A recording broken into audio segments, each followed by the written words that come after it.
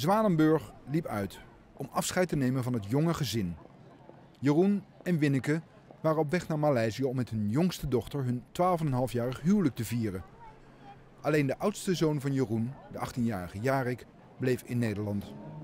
Ze stonden midden in het leven en dat betekent een drukke uitvaart met vrienden, familie, collega's, buren en leden van verenigingen. Ik heb afscheid genomen van eh, mijn collega Jeroen, met zijn vrouw en kind.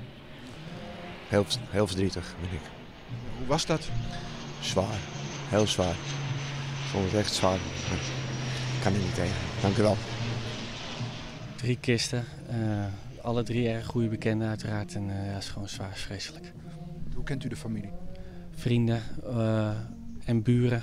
Eh, ik heb bij Jeroen gewerkt nog en eh, daar ken ik hem van, maar meer vriend. Ik ken haar vanaf mijn veertiende.